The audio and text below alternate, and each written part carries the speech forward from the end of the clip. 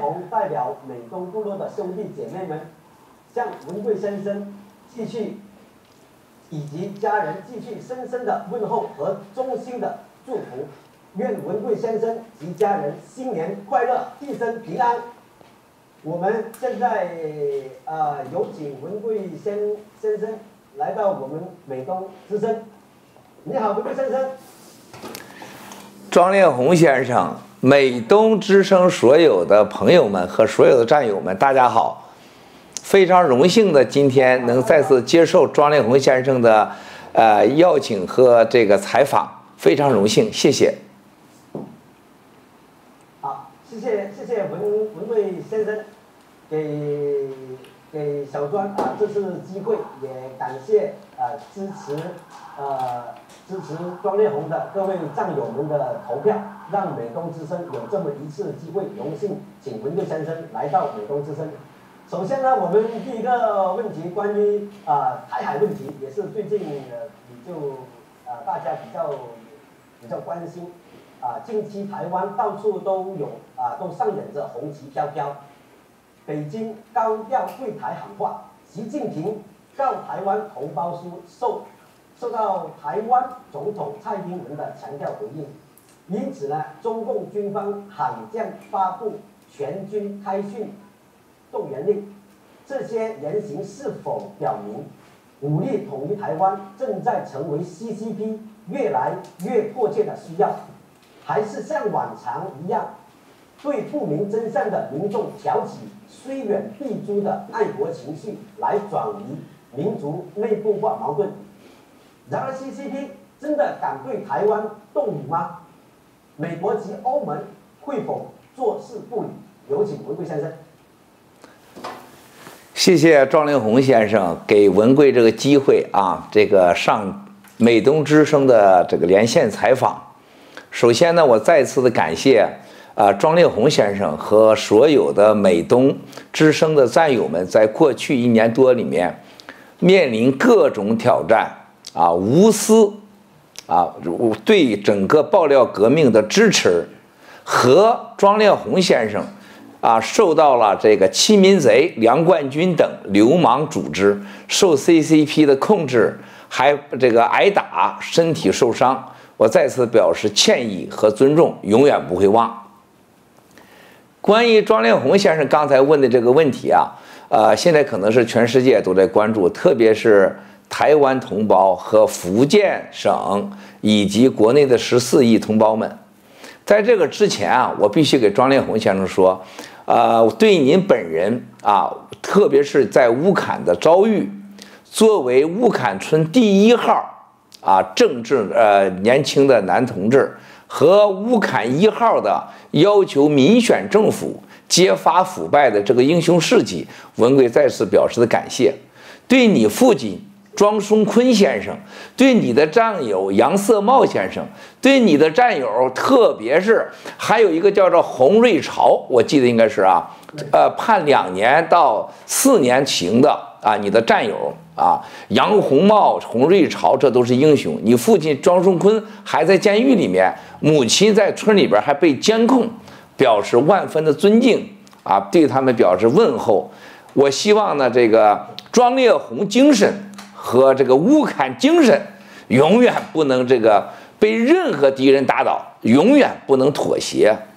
而且我一直给这个庄烈红先生说，您是一个年轻人这一代的一个楷模。啊，你代表了一个奋斗的精神，你代表了在一个共产党控制的十四亿中国人民的七十年里边出现极少的这么一个男人的代表。你的父亲庄松坤先生还在监狱里，你的母亲老人家还没有行动自由，你的这个兄弟老范、老杨这都在受到了刑，家人受到了威胁，有生命的危险，啊，你失去了一切。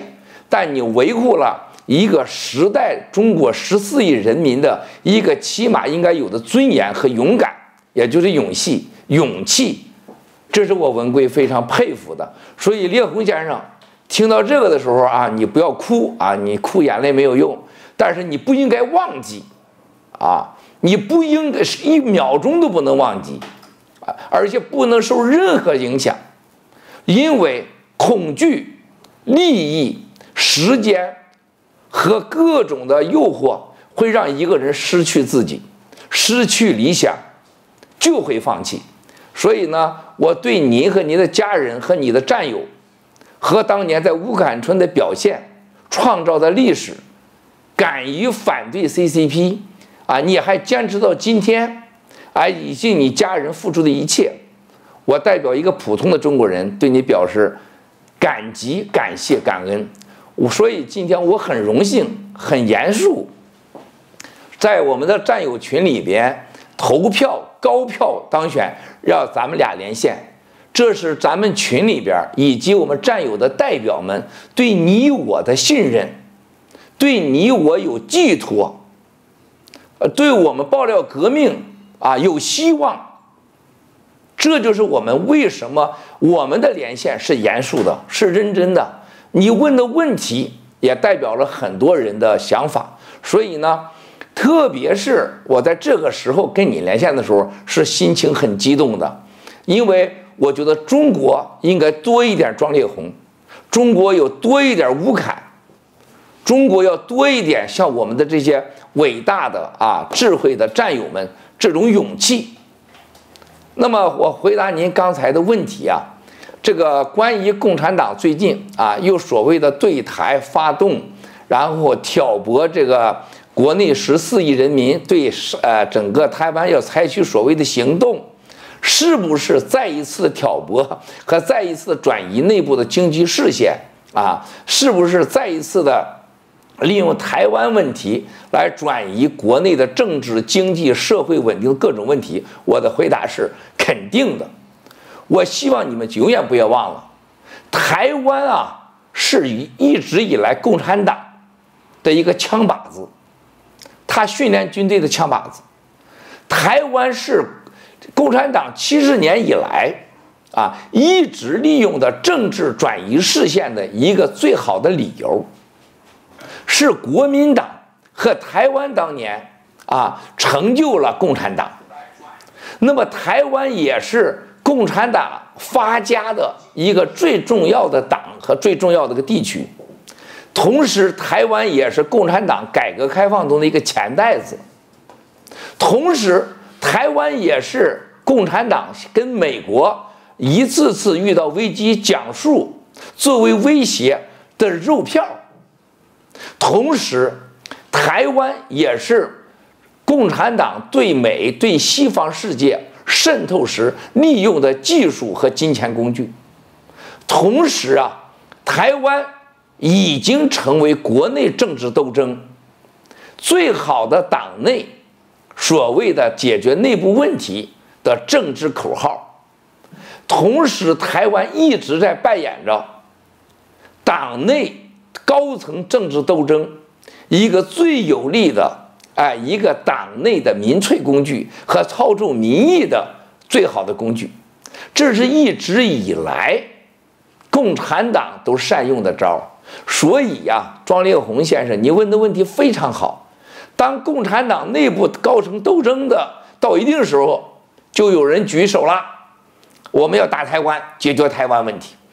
当党内有人想当官的时候，喊出的口号就要打台湾了，然后对台湾采取了蓝金黄以及政治威胁各种所谓的手段就全来了啊！这为什么要获得党内的支持和信任，也是党内获得政治资本的这个最好手段。那么同时啊，我们可以看到。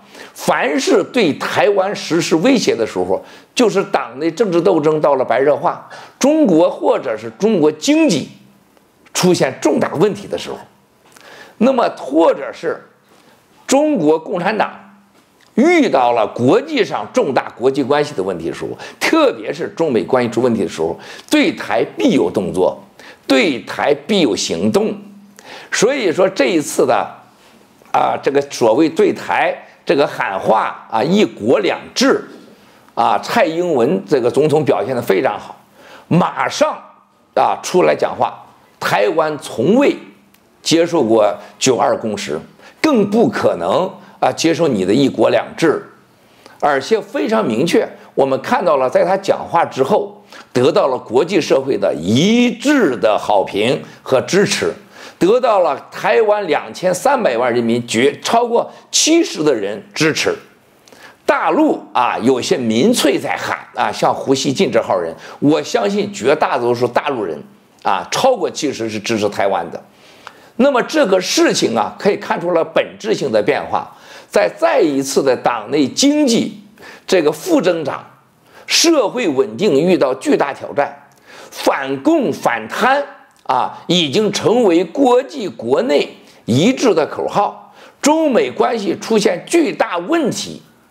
等这些巨大的矛盾的时候，突然发现，啊，再次的操纵民意不管用了，啊，这是一个本质性的变化。还有一个，我们大家要注意到的是，这些天来美国的这个反应，当这个整个是对台喊话的，呃，之前吧，不到二十个小时，我就知道有这个啊对台的喊话，然后美方问我这事可不可能发生，我说一定会发生。那么发生讲完话以后，美国所有的国内的政府内的和政府外的朋友们纷纷给我发了信息啊，震惊、不可思议。但是美国认为这暴露了中共对台湾的野心和一直以来操纵民粹国内的以及国转移国内经济、政治、社会矛盾事件的一贯手法，同时认为这次的中共的行动。可能真正造成了美国对台湾和中国和呃呃大共产党和台湾以及所有的有关事件到了一个决策的时候的关键点，因为这一次的再次操纵已经不同了，因为美国毕竟现在已经把中共列为了最大的威胁，南海问题。啊，这个内部中国经济问题，以及以及欧洲的问题、WTO 的问题，一系列的问题都在一个矛盾点上，从前所未有。所以这一次的，我认为啊，他们的操作民意是一个作死的行为，啊，是一个危险的行动，不会像以前一样让他们得逞。也不会让他们达到目的，成为转移经济啊、社会矛盾、政治的视线，我觉得是不可能的。台湾问题啊，我又有一个建议，我有一个建议，就是说大家要好认真的看，要认真的看，因为这个事情绝不是说他讲讲话就结束了，也不是说啊他现在就喊两嗓子就能把这个经济问题给解决了。台湾不管做什么，不可能增加你的 GDP；不管台湾做什么，你怎么行动，不可能让现在老百姓现在处在水深火热之中的深层次矛盾和中国高层现中家天下全天下的这种社会党内极极度的这种不稳定的因素可以彻底解决，所以这是不可能的。所以，我给这个所有的共产党啊啊官员们，以及试图操弄台湾的啊操弄台湾这个这个问问题，挑起事端的人，我给他四个字儿啊，这个四个字是什么？庄连红先生啊，叫护恶不圈啊，护恶不圈这四个字儿。护恶不圈啊，是这个这个事件。庄连红先生，我相信您会知道，咱们战友们是在十六国的时候发生了个典故。护恶不圈里边的核心人物是谁呢？一个叫石勒的，一个叫刘耀的，一个叫郭汜的，一个叫曹平的。现在在共产党的党内有很多曹平，曹平是谁呀？就是王岐山。就是孟建柱，就是中国所谓的什么这元呐，那这个将军呐，裁员呐，就是那叫喊者。大家去上历史上查一查，一大概一千七百年前十六国的时候啊，这个三幺八年吧，我记得是十六国的时候啊，这个刘耀当时篡权以后，他下边的石勒啊，这个跟他打仗还打不过人家了，给人家行给人家行赏。行赏之后给封皇位啊，加勋爵，给粮食，给钱，像今天一样，共产党的蓝金黄，石勒同意了，就派去了人啊，去给他去到那儿去看一看。去了以后说这个呃，来接这个友好的和平书啊，到那块儿去看一看怎么安排。结果呢，这个刘耀的手下一个叫曹平的，就是今天的王岐山最相信的人，给他建议说这家伙来呀，根本不是来所谓来跟咱真正签和平战书来和谈，他是来看咱的阵地，看咱的军队，得把他给杀了。最后啊，这个姓刘的这个夺取了皇位的刘耀，就把这个来使给杀了。杀以后，石勒恼火，石勒最后把他的来人给杀了。杀以后，自己自立山头，成立了一个新的政府，最后把刘越杀了。这个历史真实的典故啊，就是一个我们大家都要记住的。他不回头是岸，庄先生。就是接下来的结果啊，他现在走的路那就是很简单啊，叫酷恶不圈。酷恶不圈的结果就是死无葬身之地。他任何所谓的操弄台湾议题，不再回头是岸，像得像以前一样得逞是不可能的。所以呀，台湾问题。我相信到了一个历史时刻。至于美国人会不会出兵，我以前说过。我告诉你，庄立文，我给所有台湾的朋友说，包括我一会儿马上要来的半农先生带来的好几个前国安委的人，一会儿十二点钟来给我，呃，一点十二点半到来，一点钟给我开会。这些人当中都是非常重要的过去的政策制定者，也是过去中美关系。美台关系的重要参与者非常清楚，只要敢对台开战，只要敢打台湾，只要有人敢举手反击，美国甚至联国一定不惜一切代价捍卫台湾的安全和利益。从来没有一个人，从来没有像今天，从来没有像美这样两党统一。每天都在变化中。我刚刚过去的八天，在佛罗里达，在 Palm Beach，你们都看到了。我每天见了很很多人，过去的老朋友，坚决不支持打台湾的民主党人士和军方人士。这一次，我可以说百分之百，所有人说，只要中共打台湾，美国将不惜一切代价出兵保护。而且认为现在的共产党跟过去的共产党不一样，因为它是流氓政权，它是土匪政权。而且如果打台湾的话，美国不出手，世界将大乱。这已经是美国的国家安全核心利益。所以我觉得高兴的看到了郭文贵一年以前我就说，咱爆料庄烈红先生你要有自信，咱就说过。下一步，他们将操纵台湾问题发生了吧？第二，我们说过，台湾问题，美国将彻底改变对台政策。只要是中共再度威胁，美国一定是啊大兵介入，不惜代价。还有一个，在几个月以前，我连续的说，台湾人民准备好吧，下一步共产党就对着你来了，就是台湾和香港，他没别的招了。他家既不产 iPhone。产了一个超人 iPhone 的华为，一堆毛病，他产啥呀？CCP，他有什么经济增长点呢？他有什么样的经济呃这个未来呀？他有什么样的价值啊？根本没有，除了偷人家美国点儿这个钱、技术，搞点贸易战争，呃，这个贸易欺骗，现在又被人家给挑战了，他没未来了，只能操弄操弄台湾，搞搞香港，骗点钱，印点港币。解决所谓的现在到处的这个许诺骗钱，维护自己的多过一天少一天的所谓这豪华的生活。所以庄先生回答你这个问题：美军一定介入，如果他敢动手，就是他的末日。而且台湾人民不要被利用，希望蔡英文总统坚持到底。谢谢庄连红先生。谢谢文贵先生，谢谢文贵先生跟我们解答了这个有关台湾的问题哈，在这里啊，在在这里，呃，庄内红啊，也也希望我们台湾啊朋友，一一年要到，平平安安，爱台湾，南话，我会一点台啊台语。叫爱台湾是吧？闽南话怎么说？我爱台湾怎么说？我爱台湾呐。我爱台湾呐啊！我台湾的有个女朋友，老给我讲这个闽南话，每次讲闽南话，把我讲的都特别笑啊，特别开心啊。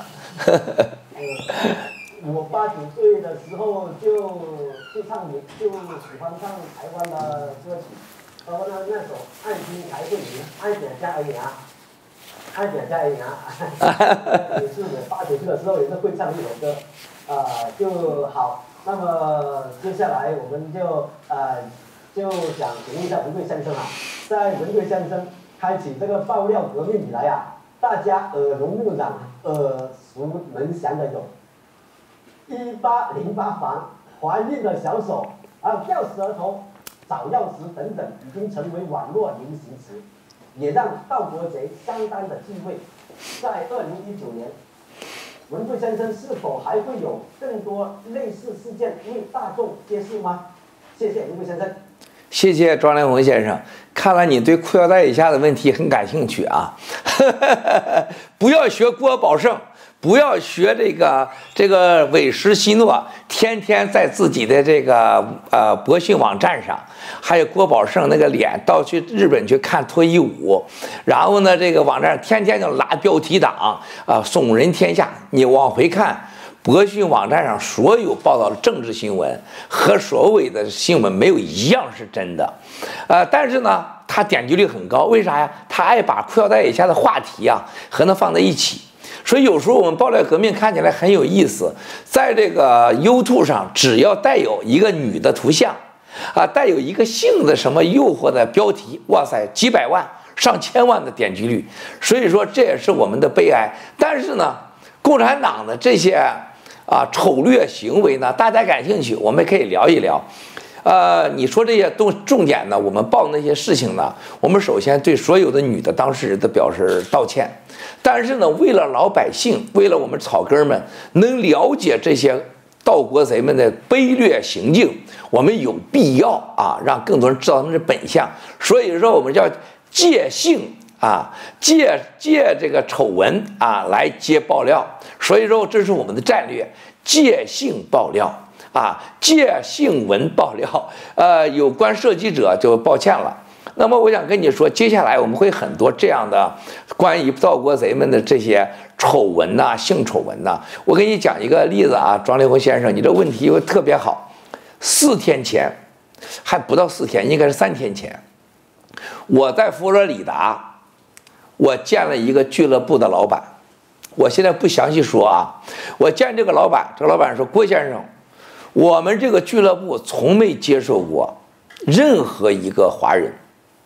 我们昨天啊来了一个华人，这个华人非常的漂亮啊。然后他说我不能告诉你名字，但我让你看一下他照片。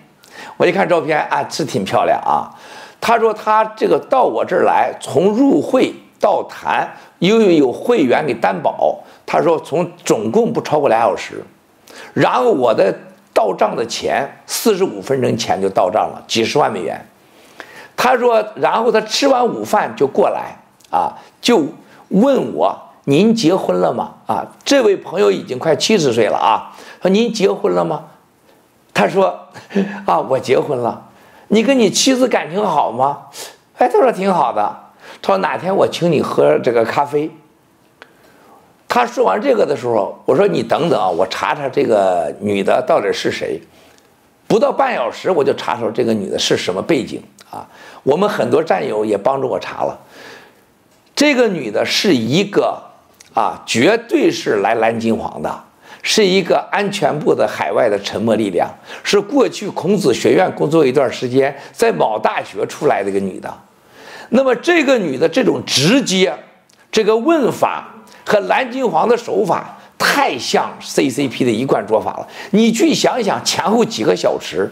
后来我跟他开玩笑，我说啊，他没有直接啊问你床在哪儿，他没直接跑你办公室去来找你，呃呃，办公室去找钥匙，已经够便宜你了。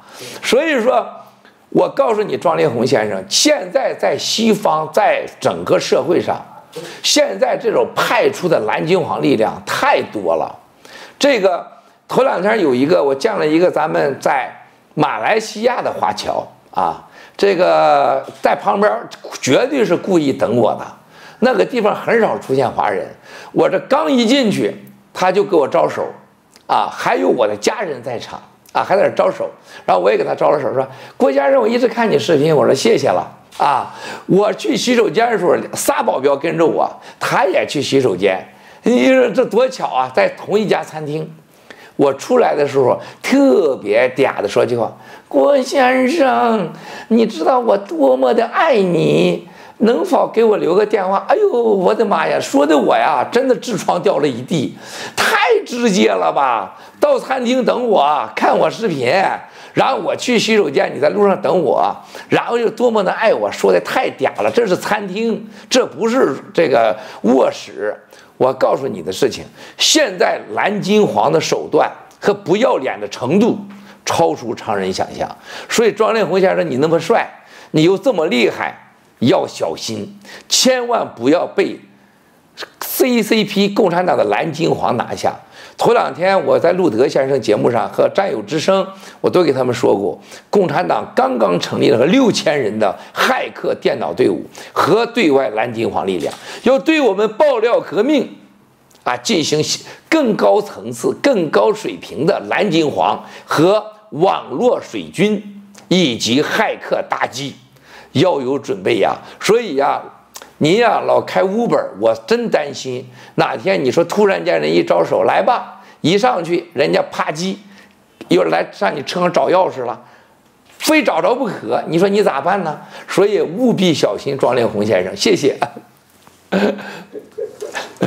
哎，你看你笑的笑的很很淫荡，很淫荡啊！这时候想想吴晗，想想你战友杨色茂，你就不能不能这个，千万不要犯错啊！哈哈哈哈哈！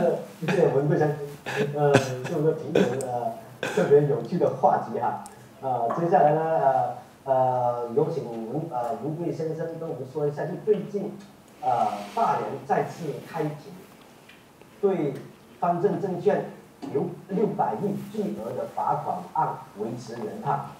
虽然大家都知道这是中共针对文贵先生的爆料革命所实施的打击报复行为，针对中共这一不择手段的打压，文贵先生曾经经呃曾经历呃经历磨难打造的盘古大观，能否在二零二零 CCP 被消灭前保住？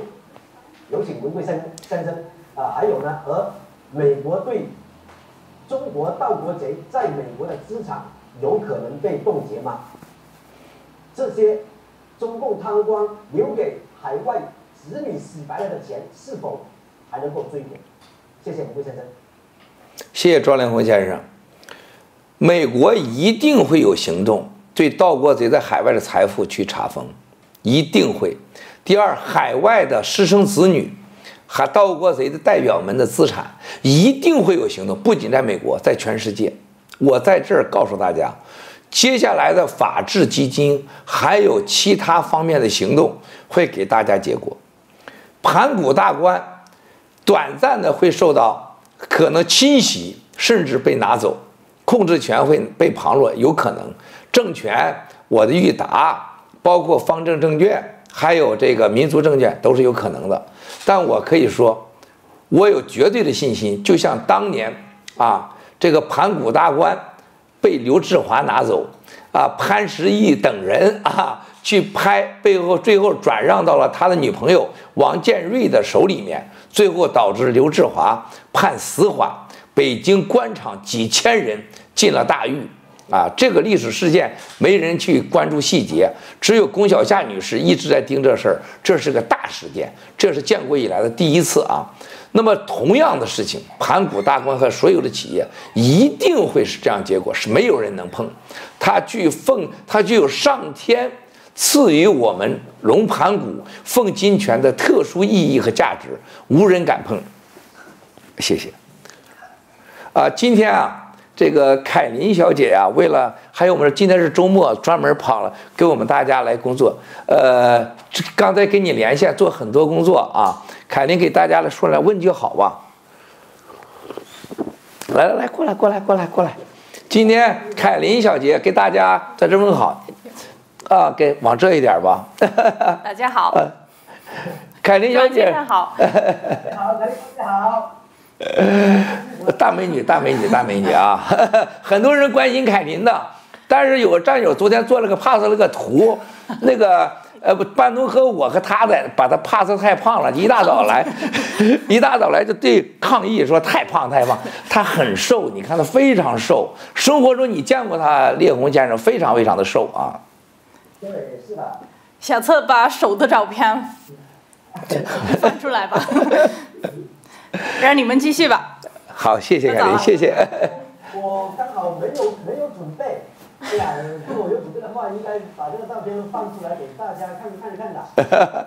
哦，我接着回答刚才的问题是啊，这个非常重要的事情，你像这个呃盘古也好，政权也好，这些企业，我可以告诉大家，没有人可以夺走。啊，有些话我在这里不方便说啊，不方便说。啊，我们一直坚持着正常的经营。啊，从没有改变过，这已经是奇迹了。在刚刚的啊四十八小时以前，大连专案组又在没有手续的情况下，在我们的证券账号上啊，把非法的划走了四点九亿人民币。在大家知道，在呃几天前二十八号的时候，他这个十二月二十八号划走了大概将近两亿人民币。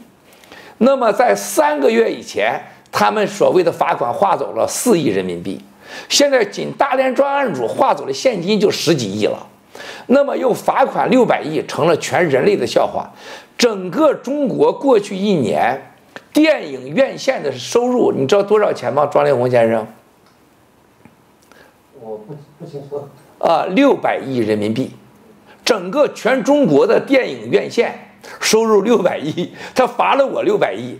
有好多演演艺界的导演啊，这个明星啊，都给我发信息。郭先生，你太厉害了！我们整个电影事业才成这 GDP 呀，营业额才六百亿，你就被罚了六百亿，说这个辽宁司法和共产党政法委黑了心了。那么美国的所有的金金融界。基金觉得这是荒唐下荒天下之大稽，啊，所有人的八点七亿美元，再加上十八亿股，疯了啊！但是我要告诉你的庄丽红先生，他拿不走，啊，而且在共产党不倒闭之前，没有一样东西是咱的，连你爹现在都关在监狱里，现在庄连你爹都不是你的爹了，你喊你爹，你爹能听见吗？啊，你说说，你给我说，庄松坤先生，你喊喊他爹，能听？你能听见吗？你现在大嗓子喊，我今天本来说在开节目前，我想让庄连红先生对着镜头喊爸爸，喊三声，你啥感觉？为什么这么做？你知道吧？我每天醒来，我要看我爹、我娘和全家的照片。我每天，我一定是，然后我再去念经。连我们的父母，我们都不是我们的。你觉得盘古政权资产和证券是我们的吗？国都不是我们的了，我们的国家已被流氓团伙所盗劫。我们的兄弟姐妹叫香港、台湾，被他们在拿刀子、拿枪在威胁，跟人家美国人讲述这些懦弱的、无耻的流氓集团。人家美国人，你咋不跟人家打去啊？你咋不罚美国人六百亿啊？人家美国人跟你讲说你要打台湾，人家跟你一说你没有民主自由，你就打新疆，把新疆人关起来。人家说一说你没法治，你就收拾香港同胞。人家一说你这个这个社会这是个合法政权，要尊重老百姓，你就把庄荣坤先生给关监狱去，你就把人家这个整个杨荣茂这人给关到监狱去，虐待跟踪。这什么流氓政权？所以共产党不灭，没有一样东西是我们的，爹娘兄弟姐妹都不是我们的，钱是我们的吗？当然不是我们的，别傻了，只有干掉共产党，让共产党离开中国，啥都是咱的，爹是我们的爹娘，是我们兄弟是我们的兄弟，姐妹是我们姐妹，媳妇是我们的媳妇，所以您的问题我回答你：只要共产党不灭，什么都不是我们的；共产党灭了，什么都是我们的。二零二零年必灭共产党，然后共产党盗走的财富必须要还，一分都不能少，而且不但要还，而且还要惩罚他们。这就是我回答您的问题。谢谢庄连红先生。谢谢，谢谢，谢谢，谢谢，谢谢，谢谢，好，呃，对于我乌坎的，我们我们乌坎的事情哈，其其实庄烈红，如果要说的话，别说三天三夜，说个三个月，可能都说不完。就当中呢，有很多心酸的历程。从二零一啊二零零八年开始，我当时还是一个小伙小伙子，包括我现在还认为我是一个小伙子，我就是要保持那当时的那种激情那种心态。当时懵懵懂懂的，当我有了这个意识之后，我就认我就认为，我们天赋的人天赋的人权，而共产党当时啊对我们。呃，所一所有的一些不公平，包括当时有，呃，我十几二十岁的时候，当时在一个朋友家过生日的时候，就被呃就被派出所给抓去了，抓去是因为他呃有人在一个工厂厂房放了一个炮，结果抓去，他们说配合调查，那可以没问题，但是去了之后，对对我们是非人非人道的，啊。让我们在那里站了两个小两个小时，当时我们还还在读呃初初中，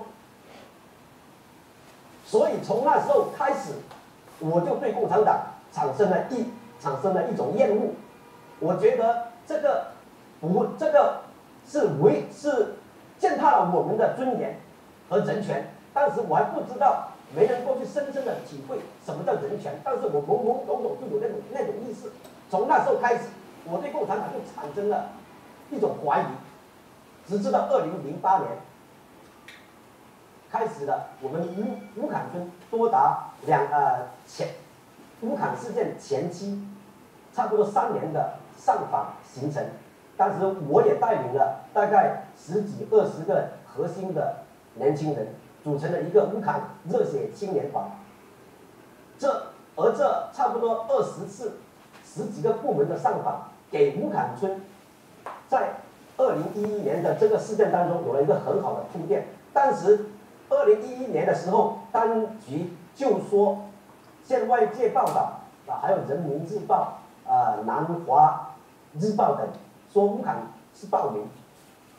当我们拿出了这些上访历程之后，然后这个问题对外人来说是不就不认而解。不认就不认而解。好，这个话题在这里。哎，到打断你一下，庄先生，我要问你一下，当时你你发出那个匿名信，还有一个 QQ，要要护乌坎这个保护乌坎村那个土地，就万亩地那个事情，你为什么傻乎乎的你把 QQ 那个号给留下来呢？QQ 是不那个 QQ 不是我啊，不是我本人的那个 QQ，我本人个 QQ 是。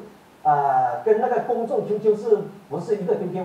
我本人以我个人的 QQ 以爱国者五号，而爱国者一号的 QQ 呢是公众号。那但是很大家都不知道爱国者一号是谁，是为了我方便做事情，只知道我是爱国者五号。但是在爱国者一，除了爱国者一号，知道爱国者十号，这这里面只有我一个人，是为了向当局展示一下我们还有里面还有十啊。十个人是啊，除了我庄烈红，呃，还有几个人是未露面的，就也就是啊，就是当也是当时的一种策划吧。那你我问你啊，当时你那个范瑞朝还有杨荣茂他们跟你在一起搞这个的时候，他俩都被抓了，为什么你不让他出来，你自己跑出来了呀？洪瑞朝我已经跟他说了，当时我是准备如果开船。空渡到关岛的话，我会带上红绿茶，但是啊，我啊，我也从香港演绎了之后，我没被监控之后呢，我就偷偷的办了这个啊，说要去日本旅游的这个护照，然后跟老婆就出来，还不敢带上当时八个月的小孩子，怕没有借口。当时我我因为安全厅的人有人跟我说过，广东安全厅的人就是你们这个乌坎专案的人，说他了解到洪瑞潮、杨荣茂他们尝试过从厦门大飞飞到台湾的，他们有安排，后来没有做。然后呢，他们也有当在湛江也有大飞飞到香港的安排，后来都没做，为什么呢？哎，我怎么顺便聊起来了？这个这个今天聊啊啊。杨社茂呢？呃呃呃，这个呃我们这个杨杨社茂这位战友，我就没有跟他说，因为包括呃我出来，我跟我老婆逃逃到美国，连我父母我都没跟他们说，因为因为不能说，一说或许我就出不来了。对我这个呃专案组的人跟我专门谈过这个，他们都佩服你们几个，佩服的不得了。我现在我请教你一个问题，这是你的战友，现在我们是战友，我们美东之声，你最不同的事情，我们从爆料革命以来，有组织 有团队的，就是美东之声庄烈红先生，而且这些人都是忠心耿耿，所以这让我很加尊重。你能告诉我？什么叫战友吗？你能给我形容一下？我没有拿他们当战友。你拿他当时当我的亲人。当亲人了，那我是不是你亲人呢？现在？当然是，当然是，是我的长辈。我跟你讲，烈红先生啊，为啥我要问你这个话呢？这个当时这广东安全厅专案组的人呢？对你们非常的佩服。为什么我一直跟你在这个通话中，我总是说你，我说列红先生永远不要忘掉你是乌坎人，因为我在这要再次公开跟你说，因为你们几个杨色茂几个，你知道吗？范瑞朝你们几个，这个洪瑞朝几个，呃，非常非常重要的是代表了年轻人这一代人对这个集权的反抗和对中国人权人性的思考。你从二零零八年到二零一二年等等等的行动，他们这些人认为啊，中国会出现 N 个这样的事情。后来你能逃出来，他两个被判两年四年，这里边有很多故事。其中有一个我的好朋友在建议量刑期的时候，对他两个人，一个两年，一个四年，我我大概没有记错是不是对的啊？两年四年其实都比这多，都是要超过十年甚至无期的。后来这些人就佩服你们说。这这是年轻人啊，没必要谈到政治角度上去。说这一点上，还是很多党内有好人的，千万别忘了。那么另外一个呢？为啥说这样？说这样的人一旦形成战斗力，他说中国共产党一定会推翻，而且他认为这样的人会不少，只是没有行动。什么叫战友？我告诉你，我要特别跟你说，你去查查什么叫战友，叫不抛弃，不放弃。抛责关系叫战友，他既是你的战友，你说也是你的亲人。你讲你是亲人的时候，那叫江湖，你个人的感情。但对待追求我们的理想，喜马拉雅庄烈红先生，我再次告诉你，战友之谊高于亲人关系。就像你今天，你不能以你父亲的庄先生。的这个安全利益为第一考虑，应该以你的战友，还有一个什么？要以我们喜马拉雅目标。只有推翻中共了，你才有家人，你才有爹有妈，你才有家人未来。你的战友饭也好，是这个羊也好，才能回来。所以这个战友之情高于亲情，高于你的私情。所以说，你记住，大义是战友，不是家人。一旦你 focus 家人的时候，记住，你已经输了，已经输了。所以记住他们，我们要拯救他们出来，我们要干掉中共，这才是你心里一定要想的。这就是我们的抛折之意，不抛弃，不放弃，就是伟大的战友关系。谢谢庄连红先生。谢谢文贵先生文贵先生。今天我本人我是。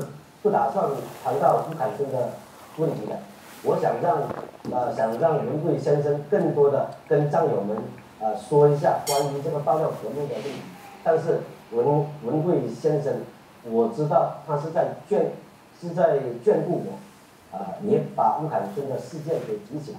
在这里提到“战友”这两这两个字，使我深深的感动的是，在二零一一年，我的一位当时四十一岁的薛景波，我的好战友，被抓被抓进去，十啊十二月九号被抓进去不到两天，就被弄死了，说是心源性猝死，一个中年人。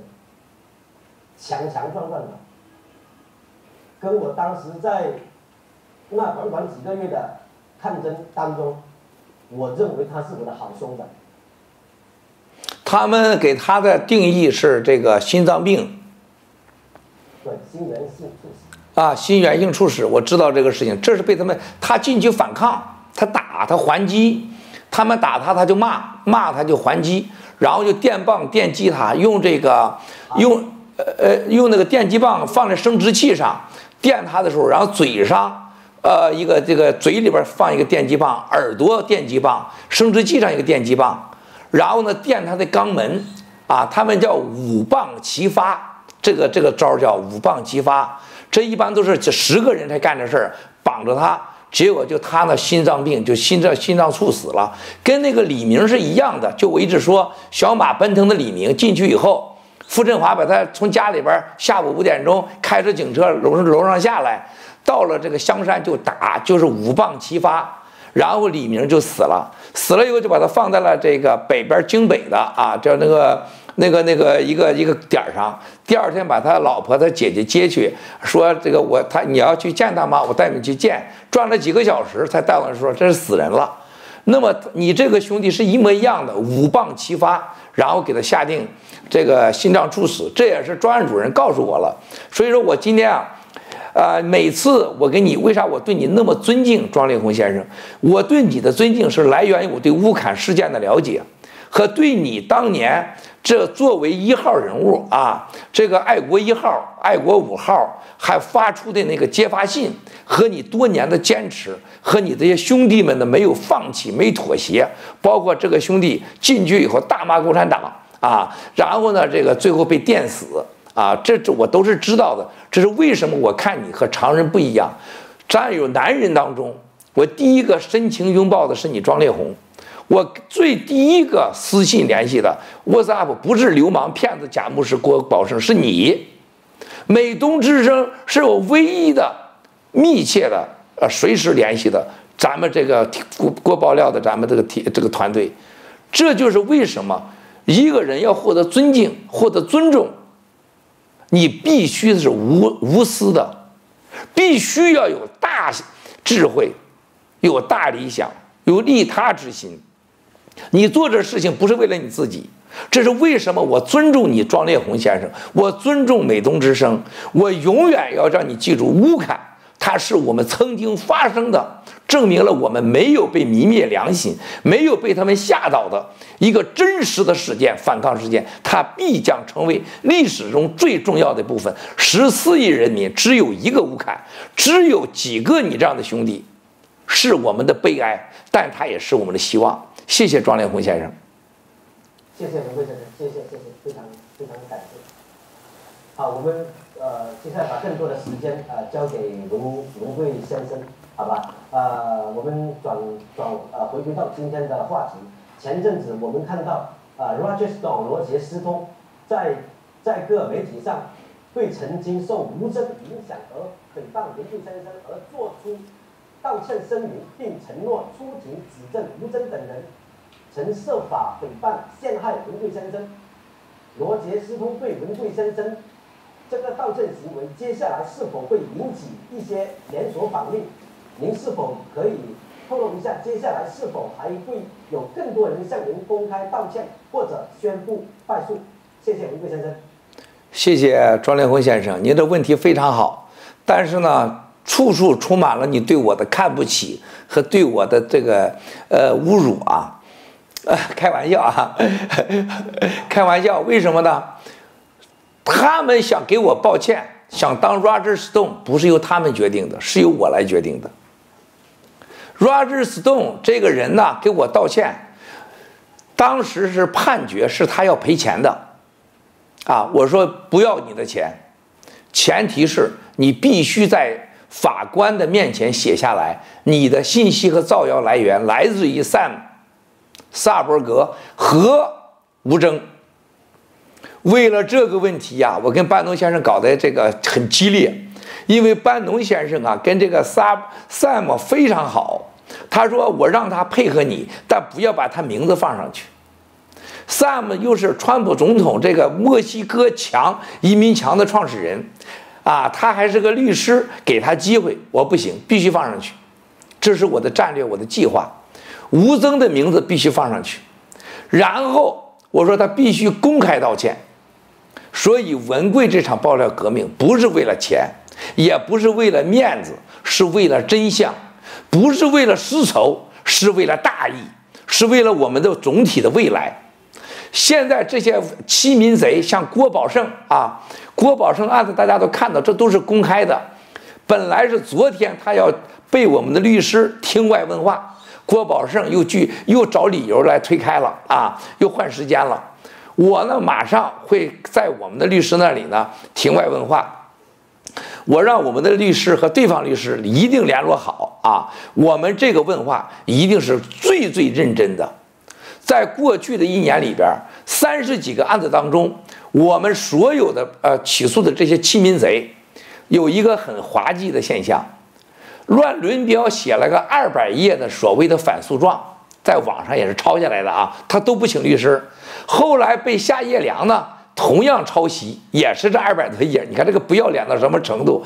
不找律师，连自己写，自己写也不写，就抄乱伦彪的这个。然后袁建斌又把这两百多页反诉状又同时抄，袁建斌抄完还不算数，那个叫美猴王的叫什么林雨丹这个女的啊，又抄一遍啊。所以说你看看陈军也好啊，还包括那个史诺呀，还有韦史啊，都是吴增付钱，同一个律师事务所，这个吴增的钱，吴增的律师和博讯连在一起了。但是他不帮助熊艳民，熊艳民找了狗屁烂人叶宁啊，这个畜生律师假律师。所以你可以看一看啊，请了律师的，共产党给钱了；没请律师的，自己写反诉，而且用同一个反诉状，而且人家法官就不可思议，说你自己写的玩意儿，你自己能看得懂吗？啊，那个梁冠军。一年多了，结果回复说：“哎，我根本没有接到这个法官给我的传票，结果要求说这个缺席审判要推延。你看这些流氓撒谎欺骗，所以海外欺民贼过去一年来展示的是共产党在我们中国民族当中种植下的进入到血液中的虚假、卑鄙、可耻、自私、不尊重游戏规则的。”这种流氓低级下烂文化，然后你看到谁有律师？只有韦石、博讯、吴增，还有强奸案马蕊有律师，有人付钱啊。现在再加一个有律师的，唯一的就是这个郭宝胜了，是郭宝胜拿到钱了，有人付钱。所以，我们接下来的案子，我告诉你，庄连红先生，任何这些伪类们想跟我和解，门儿都没有。不可能。想跟我道歉的机会不属于他们，他磕头都不会给他机会，只有法院啊法官做出裁决，而且这个裁决只要达到我们目的了，我们就是不达目的，打到天底下都不会拉倒，一直打到他们他们的后台 CCP 倒闭为止。啊，你像什么博讯、韦石啊、熊宪明啊、史诺啊、袁建斌啊、夏叶良啊、乱伦彪啊、林雨丹、美猴王啊，是吧？郭宝胜啊，你像这些烂人一个不会放过。我再告诉你，接下来两周以内你会看到新的欺民贼被我们起诉啊，你会很震惊的啊，会很震惊。这都在我计划之中，而且我再告诉你，美国的相关机构。对过去一年多砸锅、啊辱锅骂锅的人，和所谓的来呃法律阐述的人，正在进行着刑事立案前的调查，一个也不会放过。刑事案是没有机会和解的，我也不会接受和解。所以这些事情，我告诉你，庄连红先生，很多人他们想当 Roger 史栋，他没这机会，他们只有面临着监狱和巨额的惩罚和被遣返回中国，对中国同胞的欺骗，在国外的这些盗国贼的这些啊伪类们。欺民贼们像袁宏兵，你这个烂人，还袁宏兵还发发那个信说啊，我这个书怎么怎么样？袁宏兵有胆，你继续写这个书，有胆你把这书出来，啊，还有这个潘晴，你继续以你老婆的名义癌症，你不理不给钱不给发票，你继续在背后操作啊，包括东京爆料协会的向林，还有什么咸鸭蛋啊？还有那车款的事情，一个都不会放过。这些人加在一起，这个钱你都不够我飞机飞一趟的。我要的不是钱，我要的是真相，我要的是让海外的所有的华人们不再受你们这人欺骗。你能去想想吗？海外的社交媒体上，所有的外国人都问我，竟然没有一个华人媒体能让外国人相信的。胡粉整个调查。证明了所有海外华人媒体几乎九十九点九都是被共产党大外宣所控制的。所以庄连红先生，为什么你要有无私的一个大智慧心，十四亿同胞，海外六千万华侨，就我们这一点社交媒体了。我们在没有大智慧，没有一个良心和责任，或有神圣的责任感。我们是无法生存的。过去的一年多里面，证明了他们的造谣是系统化的，是国家化的，是这个巨大的黑暗力量在控制着的。我们必须要坚持自己的立场，坚持我们的信仰和追求。这样的话，他们会雪片般的飞来，像你，像 Sarah，像路德先生，像澳洲之声。啊，向瑞安平女士，啊，向这个我们的所有的战友们来道歉。我们接下来的官司你会看到战略巨大改变，会把所有的来诋毁国爆料战友的人，通通的送上法庭。我们呢，二零一九年的爆料的战略转折和战略呃整个的改变，其中一条在一年前我就定过，二零一九年让所有支持爆料革命的人。不再担心生活上的问题，这为什么我们要成立 Root of the Road 基金？然后我们要凝聚党内更多的反共力量和海外的受欺民贼和受海外的沉默力量所威胁的人，跟这些人团结在一起。再一个，培养培植更大的反共社交媒体和国际性媒体，团结更多的人，绝不能让袁宏兵。向林、潘晴、郭宝胜这些人呐，只要没钱，都到台湾去骗去。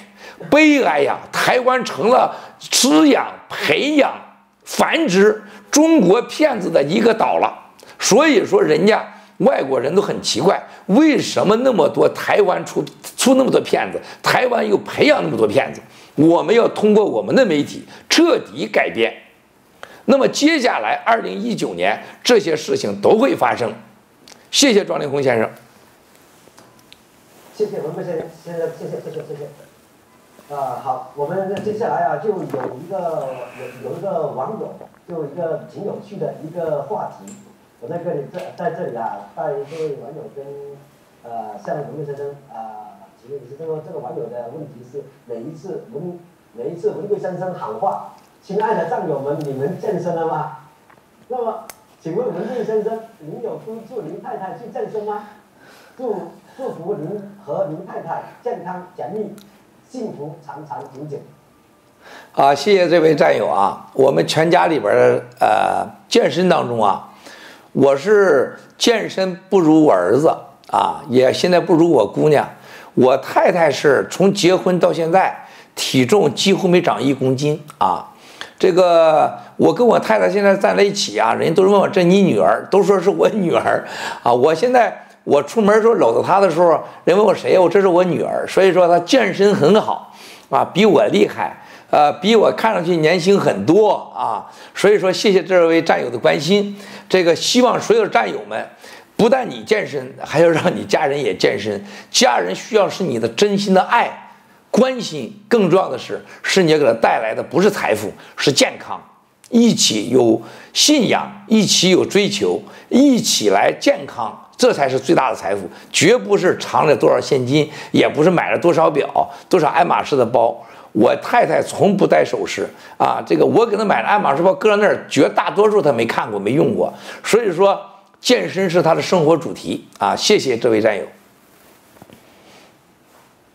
好，谢谢文贵先生。呃，结呃结合当前国际形势，二零一九年的爆料革命计划达到什么样的程度？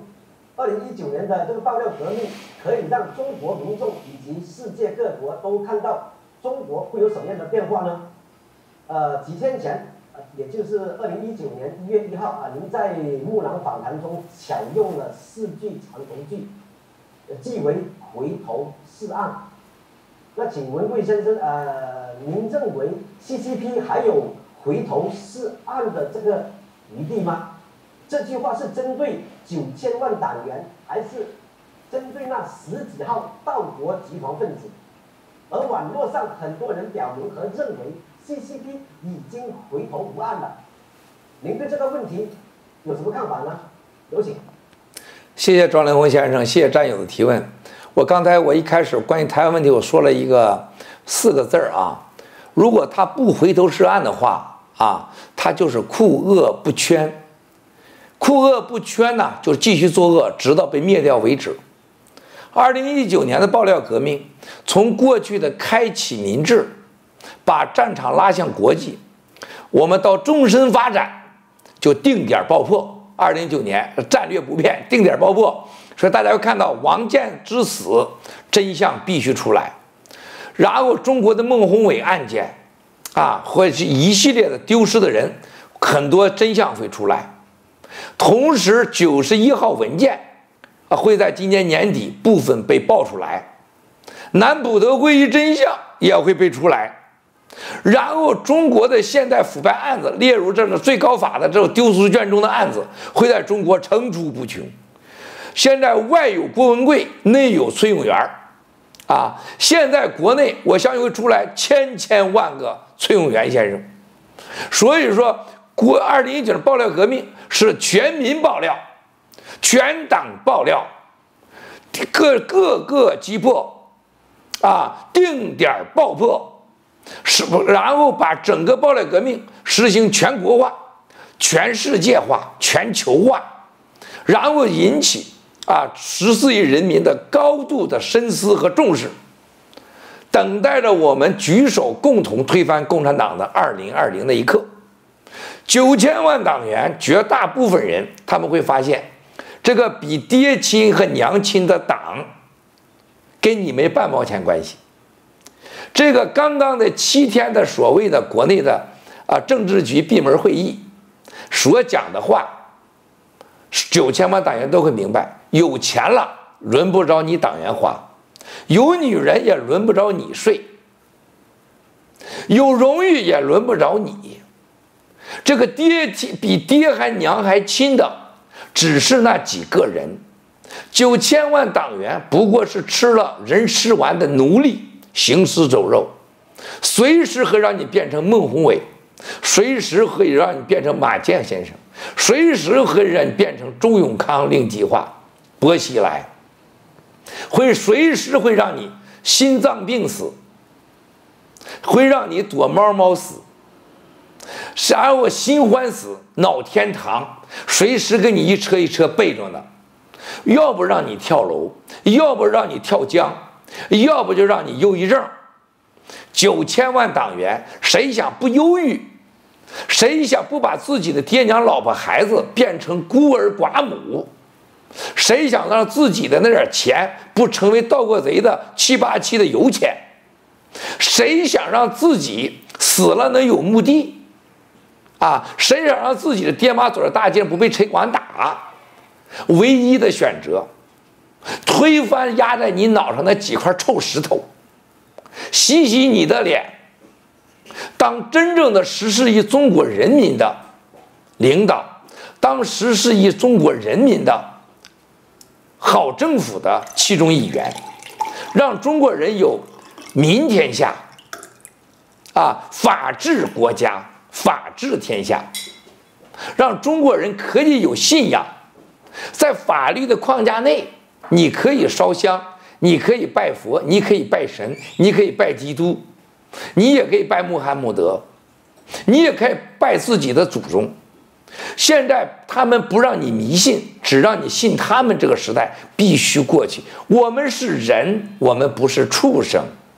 现在连那畜生，连那狗，连那猪都有时候还知道拜拜神呢，还有这个权利呢。全人类七十多亿人，什么地方不让你有信仰？只信几个人，叫共产党。全世界还有几个地方，你去你挣的钱，你你上哪花，你说了不算。全世界还有几个地方，你的领导随时可以睡你的老婆，睡你的女儿？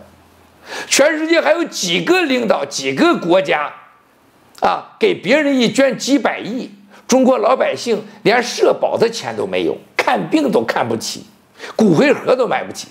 全人类还有几个国家像我们的国家，一切都是党的，一切都听党的，你大爷来的！我听起这我就火。然后你用私人企业家的时候。啊！你把私人企业家给快累死了，这个企业家被累死，那个企业家被累死，啊，一身的病。然后你这是什么？国家还要靠国有企业，国有企业是主力。你早干啥去了？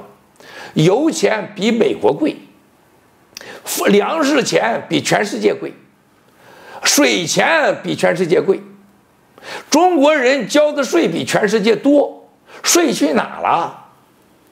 这些挣的钱、垄断的油钱去哪了？昨天我上机场的时候，一个中国朋友说：“我到了美国，老郭，我第一个发现美国的油质好，这九十三号油比那九十八油好，还便宜。”他说：“共产党太坏了啊！”我说：“你太无知了，你好好了解了解美国吧。我中美国啥都便宜，就工资贵。我说我们共产党。”什么都贵，就工资便宜，就人不值钱。在中国，什么都可以拿钱买，啊，包括人命。在美国，什么都可以拿钱买，不能包括人命和法治，这是截然的不同。所以我说，庄连红先生，二零一九年的爆料革命会让更多人感受到自己没有未来，自己是被他奴役的那个人。郭文贵爆料不是为了自己，不是私仇，不是为了保自己的财。我分分钟可以做到，我不需要，我们必须推翻共产党，拯救十四亿人民，让十四亿人民不要成为世界上的敌人。现在中国人走到任何地方，都受人家烦呐。我在佛罗里达好几个俱乐部内部政策不接受任何中国人，悲不悲哀，可不可怜？啊，中国人到哪去就成了共产党的间谍特务，这对我们多不公平！我说共产党是极少数人是坏人，我们绝大多数的共产党还是好人，这就是我们要在二零一九年彻底推翻共产党，让中国共产党的九千万党员成为我们拯救的对象，让他们变成中国法治党、民主党、自由党，让他们不要有事就打台湾的屁股，就拿针扎台湾。虐待台湾同胞，不要老给香港同胞里边放毒，不要老威胁台湾、香港同胞，更不要拿着中国老百姓啊所有的命和钱来培养那几个盗国财富的家族。这就是我们二零一九年革命定点爆破，唤醒民智，让党内绝大多数党员和我们站在一起，准备着振臂一呼，彻底推翻共产党。一旦他们要做出了。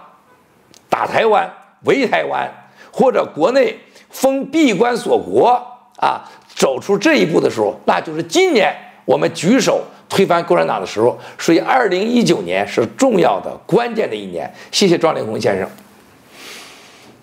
谢谢文贵先生，谢谢各位广大的战友。啊，今天非常感谢、非常荣幸的啊，请到了文贵先生抽空光临我们美东之声。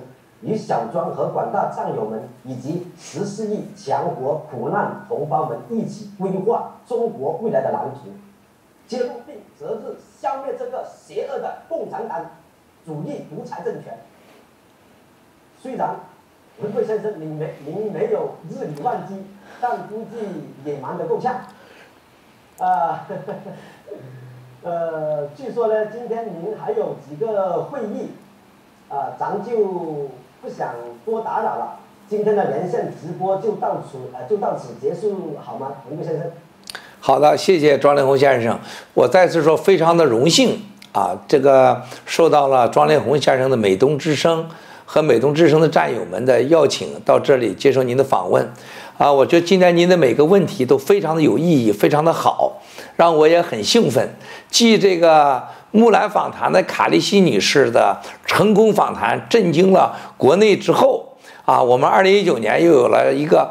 第二个好的节目啊，我希望二零一九年有更多这样的节目啊，有价值、有意义、有质量、有影响这样的节目。而且我觉得庄令红先生，我今天跟你也谈到了乌坎的这个事情，希望你不抛弃、不放弃。我再给你加仨字儿：不要啊，千万不要忘记家人和那些兄弟，他们被拯救的唯一办法，推翻共产党。开 Uber 是生活，美东之声直播是手段，还有更多的具体的行动啊！我们要对欺民贼海外的沉默的力量发动啊冷血的攻击啊！团结起来，战友们！还有我们要对这个共产党的今年的定点爆料、定点爆破，贡献自己所有的力量，团结更多在美东的战友们和我们的同胞们和有良知的、有起码人性的人。啊，在一起壮大我们的挺国和挺国爆料的队伍。像现在网络上一帮烂人和欺民贼们，我再次的呼吁所有战友们，不要浪费你的一秒钟。凡是你去低头看的时候，不管地上有什么，你已经输了。要往上看。为什么有这些欺民贼和伪类？还有我们的战友们还要转发，还要评价五毛和七毛，这个太丢人了。太不值得了！传播文贵爆料，传播战友的爆料，共同连接在一起，揭发盗国贼的犯罪盗国事实。不要为那些天天靠几十年演讲、搞讲讲的这些人啊，不要给他们任何机会，不要去看他们的节目，不要跟欺民贼任何人有任何一秒钟的争论，浪费自己的生命啊！增加他的关注度，同时要相信文贵，这些欺民贼都让文贵用法律，用美国的法律来收拾他。同时要相信美国、加拿大、澳大利亚、日本这些政府，欧洲一定会把这欺民贼送上他们应该去的位置，受到惩罚。不要浪费时间，把我们的注意力。盯住盗国贼和犯罪证据，让他们在国外的资产受查封，家人受审判，然后联合世界上最伟大的力量、最正义的力量，一起倒向盗国贼，一举歼灭，还我整个中国一个法治的中国、民主的中国、有信仰的中国，把现在个人的家天下变成了真正的民天下。那么。我们美东之声位置重要，地点重要，历史渊源重要，你的背景重要。所以说，今天很荣幸的接受庄烈红先生的这个采访直播，而且我今天很兴奋。刚刚呢讲到这儿呢，意犹未尽啊，感觉得这个这个刚刚开始一样。这个你带动了我啊，让我这个非常的呃愉悦的接受你采访啊，脑洞大开。这像跟卡利西采访一样，这就是我们的战友之情啊，战友之意。而且我深信受到上天的啊这个领导。现在呢，请允许我借你的平台，庄立红先生为十四亿同胞和战友们祈福好吗？谢谢文贵先生，谢谢谢谢。